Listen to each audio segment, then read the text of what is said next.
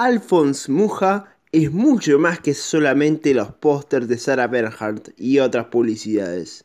Descubrí toda su vida, obra y técnica en este video.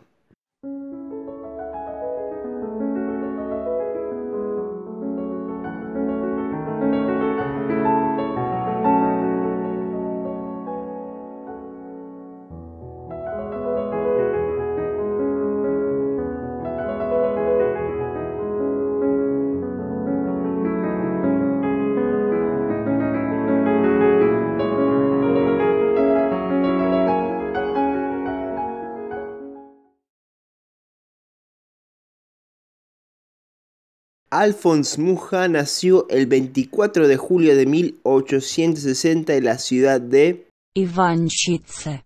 Gracias Google Translate, en la región de Moravia, que en ese entonces era parte del Imperio Austríaco, pero que hoy es una región de la República Checa.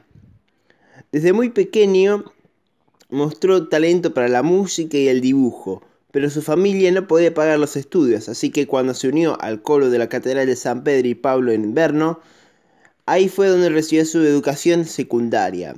Más tarde pudo continuar estudiando música, sin embargo, al final decidió abandonar sus estudios musicales y empezó a trabajar como artista decorativo en teatros. Trabajó en Viena, donde conoció y estudió en el taller de Hans Mackart, un importante pintor académico austríaco que no solo influenció a Mucha, sino también a Gustav Klimt y a muchos otros grandes artistas austríacos. Luego perdió su trabajo por un incendio y se fue a vivir al pueblo de Mikulov. Ahí conoció al conde Eduard Velazzi que le dio el trabajo de pintar murales para su castillo. Fue a través de este conde que pudo viajar a Italia y conocer grandes artistas. Estuvo un tiempo en Múnich, pero fue en 1888 que Alphonse Mucha llegó a París, donde estudió en destacadas academias como la Académie Julian. Se concentró en hacer ilustraciones para revistas y libros y se hizo amigo de Paul Gauguin y de August Strindberg. Seis años más tarde, Mucha se contactó con el manager de la gran actriz Sarah Bernhardt e hizo el póster de la obra Gismonda que lo hizo famoso. Este increíble póster es de más de 2 metros y tanto el vestido de Benhart como el fondo de mosaico está inspirado en el arte de Bizancio. Muja utilizó delicados colores de pastel y hasta los títulos están decorados.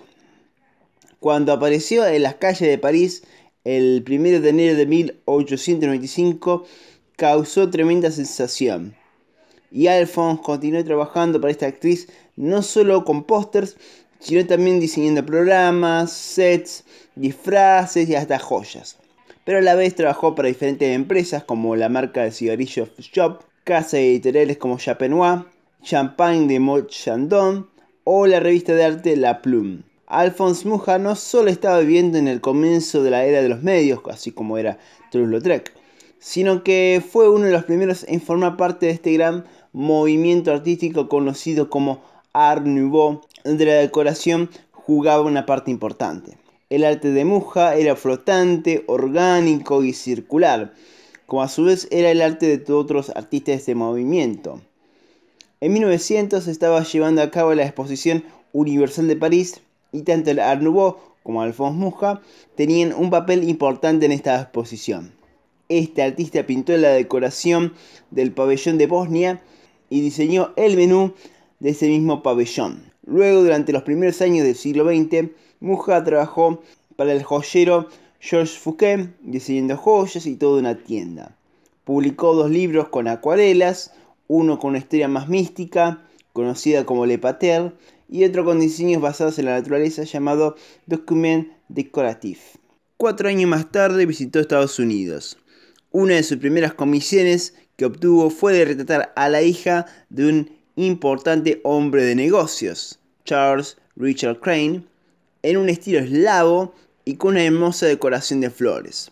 Este retrato fue considerado la mejor obra de su estadía en Norteamérica, en contraste con otros nuevos pósters actrices como Maud Adams. Desde hacía mucho tiempo que este artista checo tenía en su mente un gran proyecto pictórico sobre la historia del pueblo eslavo Por eso, con la ayuda de Crane, Muja decidió volver a Praga e intentar crear estos murales históricos.